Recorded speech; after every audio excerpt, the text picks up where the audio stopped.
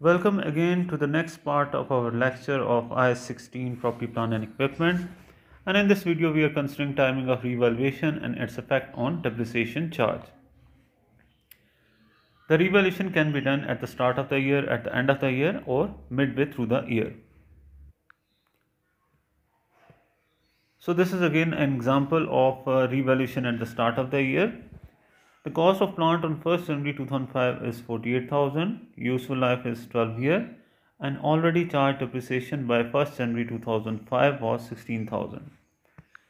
The, plant, the company decided to revalue its lease plant. There is need of correction of this date that is 1st January 2005. This is the date of revaluation of asset.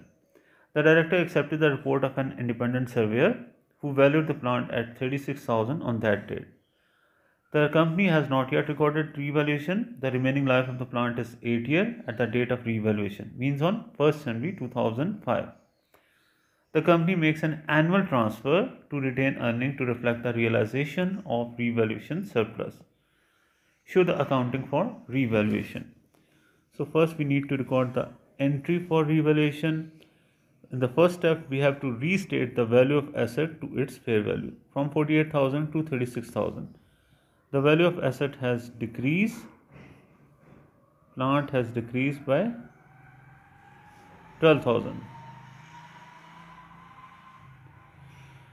Second, we need to remove the accumulated depreciation and accumulated depreciation is given as per question is 16,000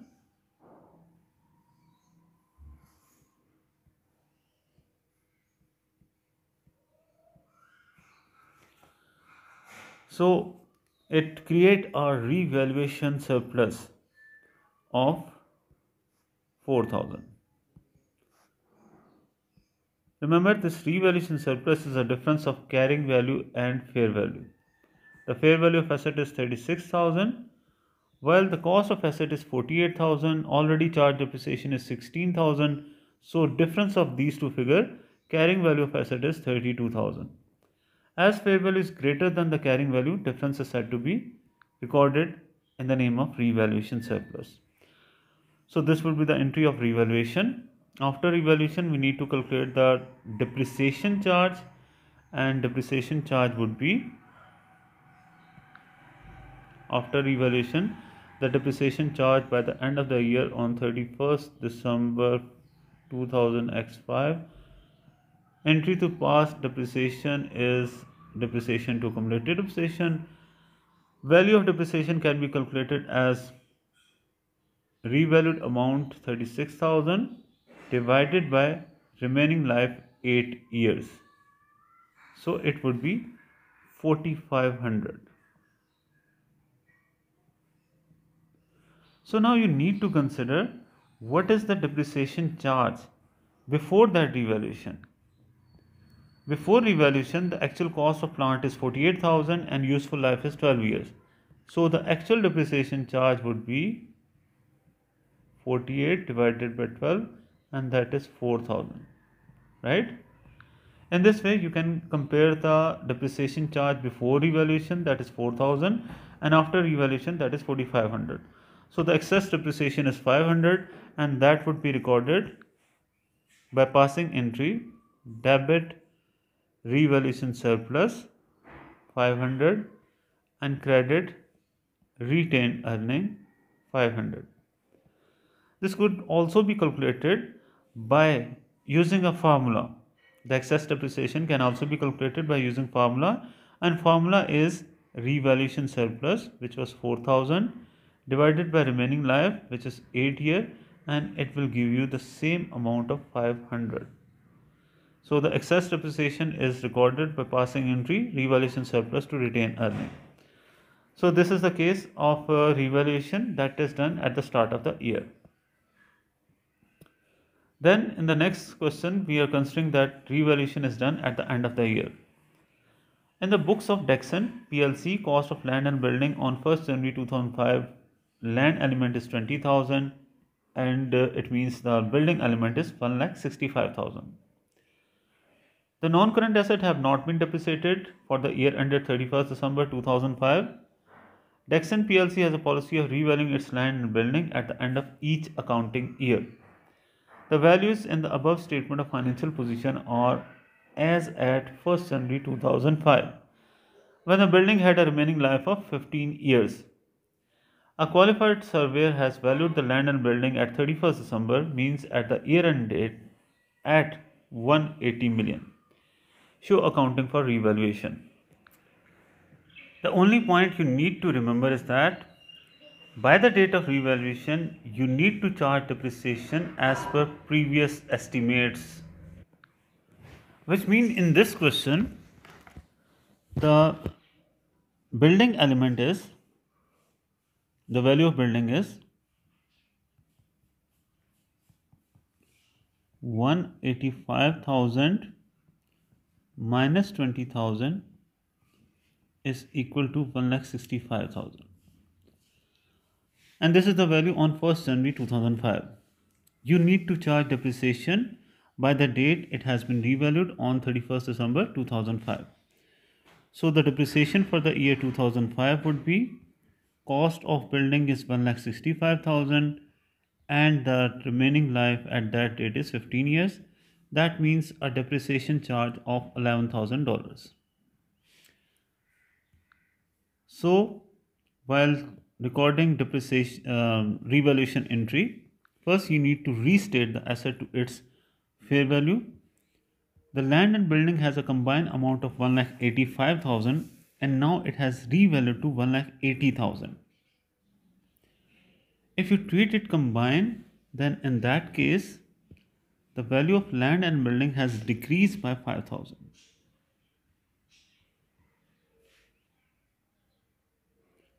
from 1,85,000 to 80 but the depreciation charge till the date of revaluation. Depreciation charge is 11000 in this current year as the company has a policy of revaluing its land and building at the end of each accounting year which means that this is the depreciation charge to be eliminated 11000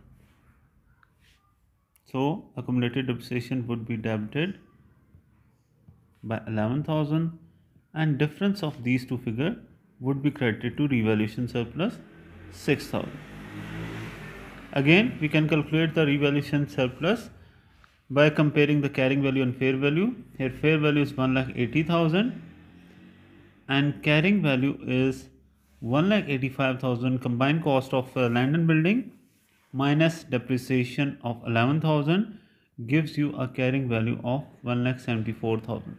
Comparison of these two figures show a difference of 6,000 and as the fair value of asset is greater than carrying value, the difference would be recorded in the name of revaluation surplus.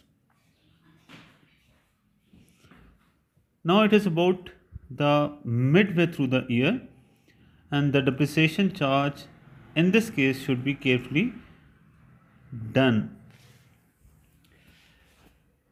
Midway through the year auckland company purchased a machine for 60000 on 1st january 2007 and assigned it a useful life of 15 years. This is a useful life of 15 years assign it a useful life of 15 years on 31st March 2009 means after a year of after 2 years and 3 months. On 31st March 2009 means from 1st January 2007 to 31st March 2009 after 2 years and 3 months it was revalued to 64000 with no change in useful life. This is a question from BPP kit what will be the depreciation charge in relation to this machine in the financial statement of Auckland for the year being ended on 31st December 2009? So we need to consider the depreciation charge before the date of revaluation 31st March 2009 and after the date of revaluation 31st March 2009 to 31st December. So before revaluation the period is so we need to charge depreciation from 1st January 2009 to 31st March 2009 before evaluation and after evaluation from 31st March 2009 to 31st December 2009 this is the period after evaluation so depreciation charge before evaluation the calculation of such depreciation is easy. Uh, you just need to consider the original value that is 60,000 divided by useful life 15 years multiplied by 3 divided by 12 this is the depreciation charge of 1000 but to charge depreciation for the next 9 months period we need to consider a little detail first the revalued amount is 64000 and you have to consider carefully what is the remaining life. As the total life of asset is 15 years and the first revaluation is recorded on 31st March 2009 means after a period of 2 years and 3 months. So if we deduct 2 years and 3 months period from the total life of asset remaining life would be 12 years and 9 months. So this will be the remaining life of the asset right? And this could be recorded as 12.75 how it is 75 because 12 is the year plus 9 months out of 12 months gives you a proportion of 0.75 so the remaining life would be 12.75 years. So this 12.75 years when divided by 64,000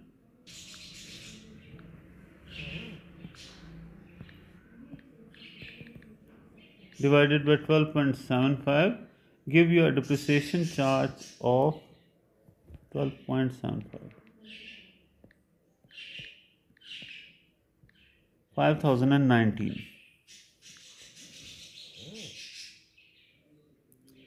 but this is a depreciation for the whole year and we need we need to calculate a depreciation for the 9 months period so the depreciation for 9 months period would be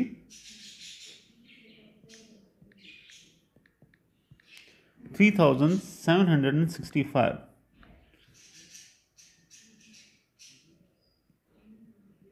So total depreciation would be 1000 for the first 3 months plus 3765 for last 9 months total 4765 this is the depreciation charge. Another way to calculate the depreciation is that you can calculate it as 64000 after revaluation depreciation.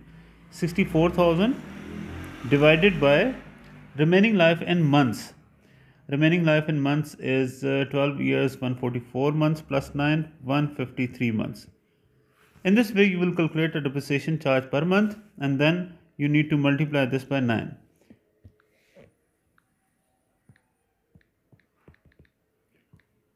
this is the per month depreciation and when multiplied by 9 it will give you a depreciation charge for 9 months period. That is again 3764 it's up to you whether to use yearly base or whether to use monthly base. So these are the question in this regard where we have to calculate the depreciation for the part of the year before evaluation in accordance with previous revaluation or original cost and after revaluation in accordance with new revaluation. So this is again the question uh, ABL Limited head office is in the city center Property was acquired on 1st April 2013. Estimated life 25 years with no residual value. Company has a policy of carrying its land and building at current value, means fair value. However, recently property prices had not charged changed for some years. On 1st October 2015 means after a period of two and a half years. Means again the revaluation is done at the mid of the year. So you need to calculate depreciation for the six months before evaluation in accordance with old methods, old estimated life, and six months after evaluation in accordance with new value. Remember that land is not depreciated, so if you have to charge depreciation for building for the first six months it will be original cost 12 lakh and original life 22 years 25 years multiply by 6 by 12 and this will give you a depreciation charge for first six months.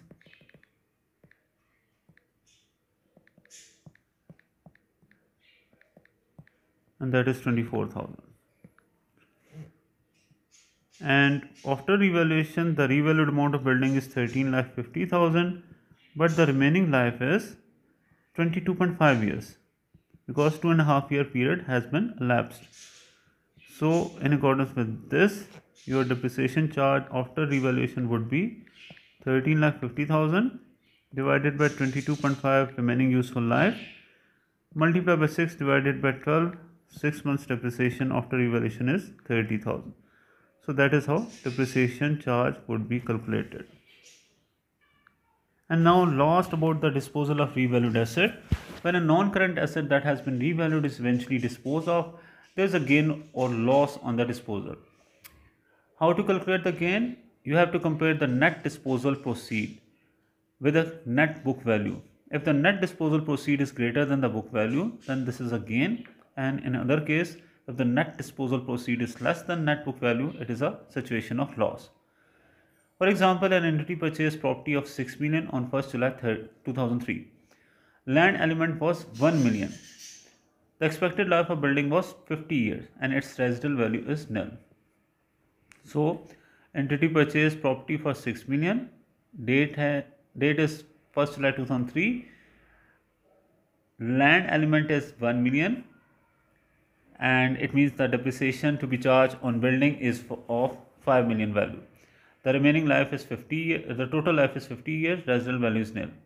On 30th June 2005, after a period of two and a half years, the property was revalued to 7 million, of which the land element was 1.24 million. It means the building element is 5.76 million. On 30th June 2007, exactly after a period of two years, the property was sold for 6.8 million and we need to consider whether we have sustained a loss or a profit on such disposal. So we need to consider the disposal proceed is given to us as 6.8 million. We need to consider what is the net book value of asset. At last revaluation on 30th June 2005, on 30th June 2005, the building element is of 5.76 million and remaining life at that date would be 48 years. How 48 years? Because on 1st July 2003 the total life is 50 years. After a period of 2 years the remaining life is uh, 48 years. So the depreciation charge of 1 year would be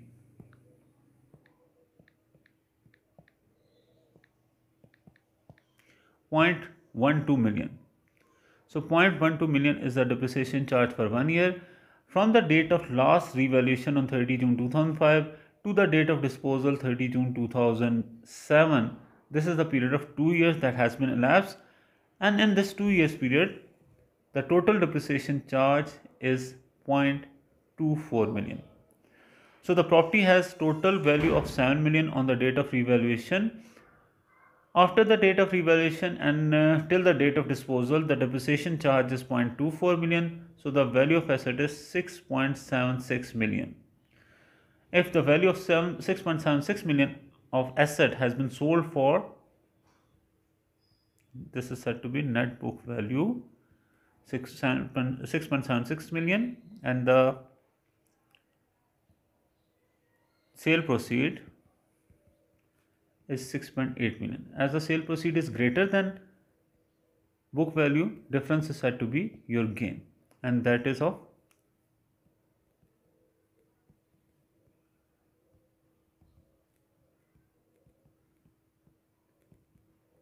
Point zero four million, or you can say forty thousand dollars. This is the gain on the sale of revalued asset. So that is about no uh, last point the treatment of revaluation surplus on disposal of asset. If you are disposing of any asset, the, all the revaluation surplus related to that asset should be transferred to retained earning by passing the same entry revaluation surplus debit and retained earning credit. So that is all about IAS 16 property plant and equipment. Do give your feedback in this regard. Thank you.